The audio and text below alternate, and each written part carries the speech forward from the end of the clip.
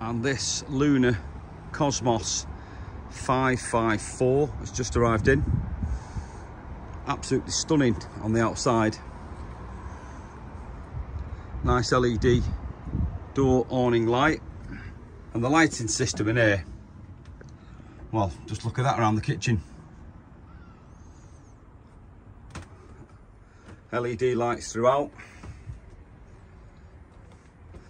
Two beautiful set of upholstered seats at the front. That'll make a nice double bed. Got your Truma. Truma gas electric central heating and hot water system. TV plugs down there as standard. Fantastic worktop, three burner gas, electric hob, separate grill and oven.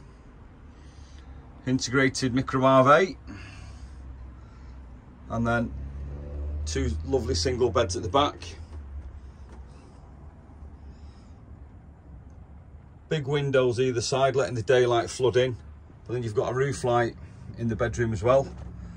Walk through the bedroom into this well appointed washroom. So you've got that nice boutique style sink towel radiator electric flushing toilet and a big size shower unit to boot. Roof lights, LED lights, roof lights,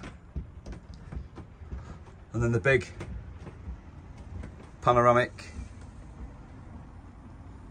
sunroof in the middle of the van. An absolutely stunning four berth, two single beds, rear washroom Lunar Cosmos.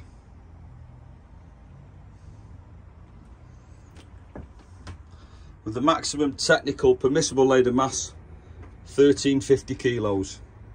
Wonderful.